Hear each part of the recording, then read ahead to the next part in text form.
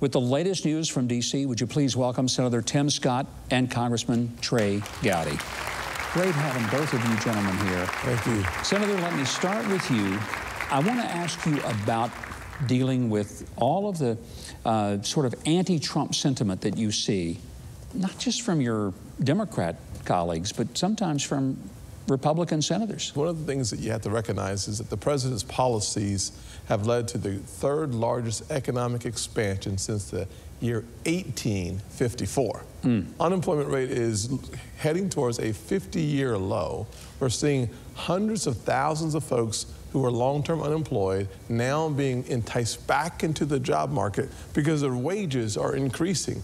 There is so much good news that one of the things you do when folks are uh, showing animosity towards the president is just remember the facts, and the facts don't lie. You know, when, when Senator Scott was talking, I, I had to remind myself um, unemployment rate among some of our fellow citizens is the lowest among, among community groups. It's the lowest it's been maybe in my lifetime. That would be a banner headline under most other presidents. So it is the weirdest political environment. I would just go with the word weird. If economic opportunity is not unifying, if that is not something we can celebrate, um, you know, we were like, what, 1% maybe under President Obama, mm -hmm. and, and, and he won a Nobel Prize?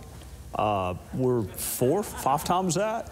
Uh, it is a strange environment we're in right now. Just recently, Congressman, you were uh, grilling Peter Strzok, the, uh, I, I, would say, the very prolific texter of the FBI who had over 50,000 text messages with his in-house uh, paramour, Lisa Page. That was tenuous.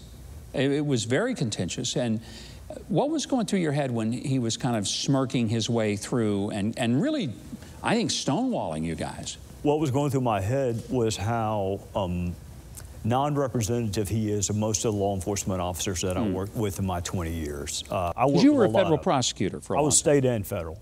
Here is a counterintelligence expert who only wanted to work on the case if it was going to lead to impeachment, not indictment, hmm. not safer elections, not a safer country, impeachment. Um, I have never seen that level of animus towards the target of any investigation.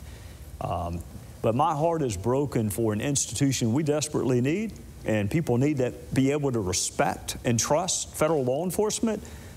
Uh, Peter Strzok and quite frankly, Jim Comey and some others have done more to undermine the reputation of the FBI than any member of the House could possibly ever do. Do, do you senators sometimes feel like that this Russia thing has just gone to ground, that there's nothing left to plow? You know you're desperate when you're looking at the public Twitter account, the tweets of the president, if you haven't found any evidence of, of collaboration, collusion at this point, and you're so desperate that you're looking into the president's tweets, looking for some scintilla of evidence, wow.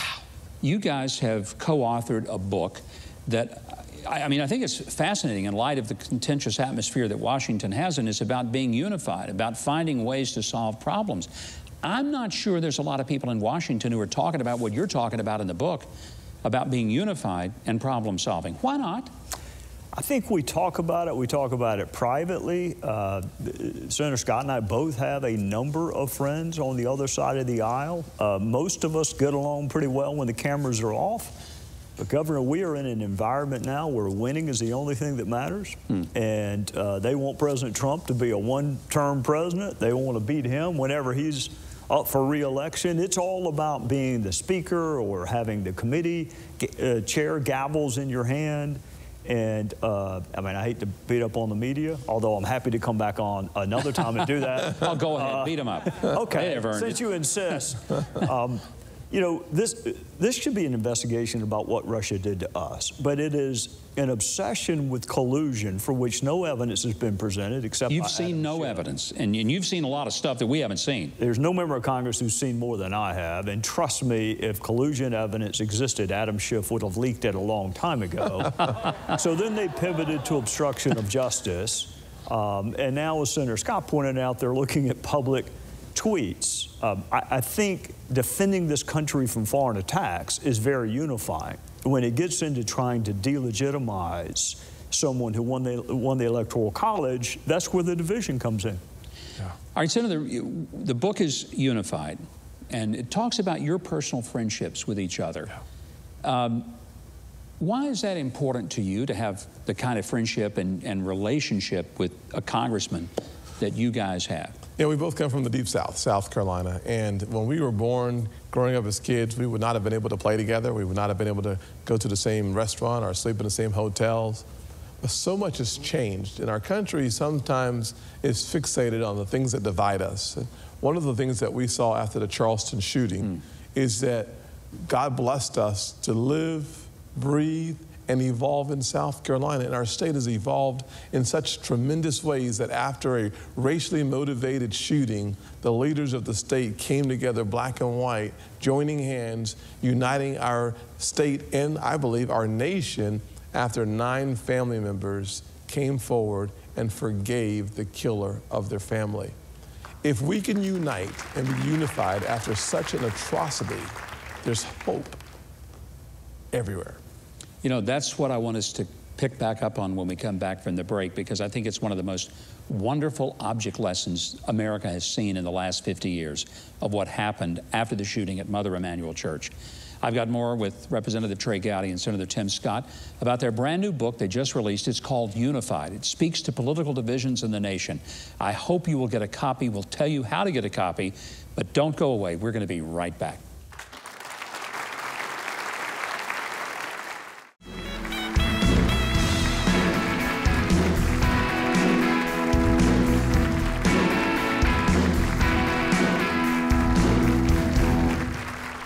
Just before the break, we were talking about the, uh, the horrible, horrible shooting in Charleston that rocked the country because it was clearly a racially motivated murder, cold blooded murder of people in church.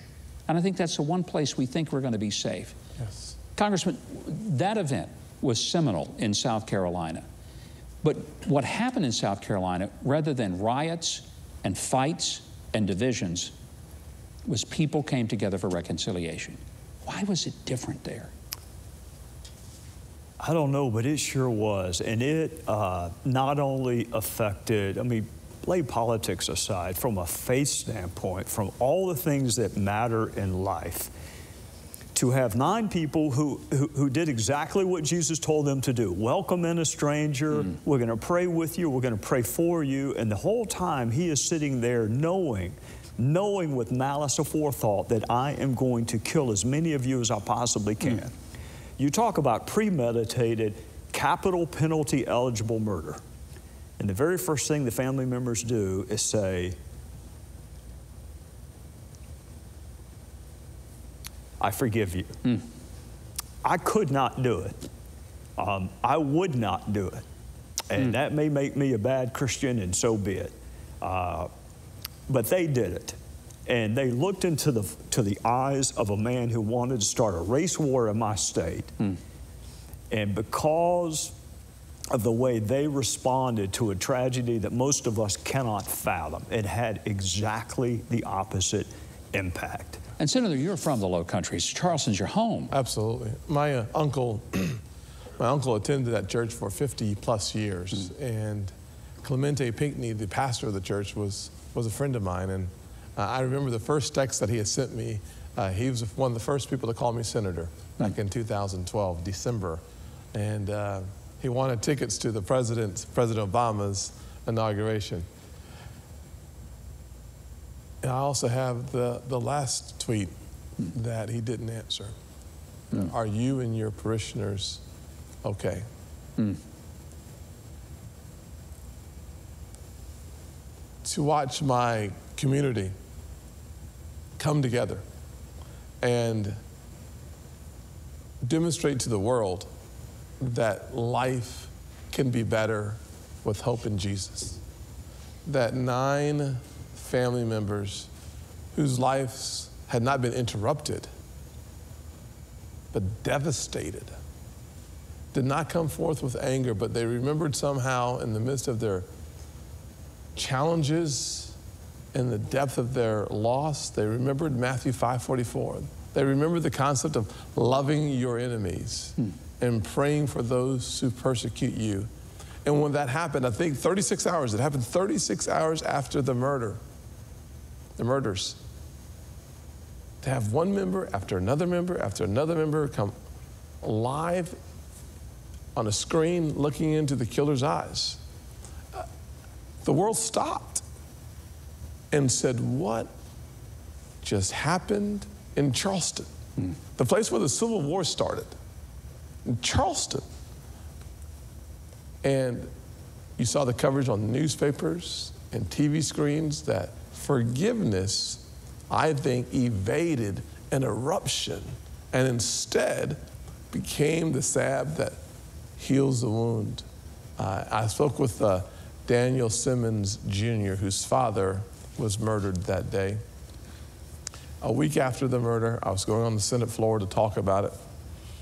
And he, I said, Sir, is there anything you want me to share? And he said, with enthusiasm and energy, he said, Yes, please share Romans 8 28, that somehow, some way, all these things work, will work together for good for those who love God and are called according to his purpose. I was flabbergasted. The people of Charleston, and specifically that church, probably gave the greatest lesson to America in my lifetime of grace, forgiveness, reconciliation. The book that you guys have put together is really um, an analysis not just of the Charleston shooting, but of the broader, more universal need for a unity in America, for friendship, for people getting to know each other as the two of you have. Uh, maybe it may seem like you're unlikely cohorts, but you've developed a tight, close bond. Why can't that happen more often in politics? It can, um, and uh, you know, we do have differences. Some, some folks say, well, you're both from South Carolina, you're both Republicans. What could you possibly not have in common? Uh, we don't do our hair the same way. Now, let me just say to your audience, please explain to me how this happened. literally, I don't know, I don't fully understand that. Divine intervention. Divine intervention, he said. All right. We have different faith perspectives. We have different perspectives on political issues. Uh, contrast is good. I enjoy contrast. Conflict is debilitating. And, and, I think most of my fellow citizens know the difference between I pull for the Cowboys, you pull for the Giants or the Packers, and having a fractured relationship where you question the motives, the patriotism, and everything else in someone with whom you disagree. We got to find a way uh, to dial down the conflict would we do better if we turned the cameras off in Washington more often, didn't televise as many things, didn't give people a sense that they had to go in front of the cameras and, and, and preen and, and, and make their points before TV for their audiences to get all revved up? Absolutely, positively, unequivocally, yes. Hmm. There's no doubt that if the cameras were off, you'd have more real people having real conversations that lead to real progress.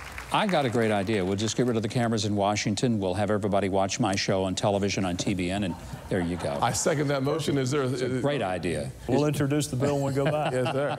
I want to thank both of you. My, my heartfelt thanks to Senator Tim Scott, Congressman Trey Gowdy. Buy their book because you'll read some things about life in politics that that you're not going to read anywhere else. It's a very unique insight. It's available at all major booksellers. The title of the book is Unified. Go online.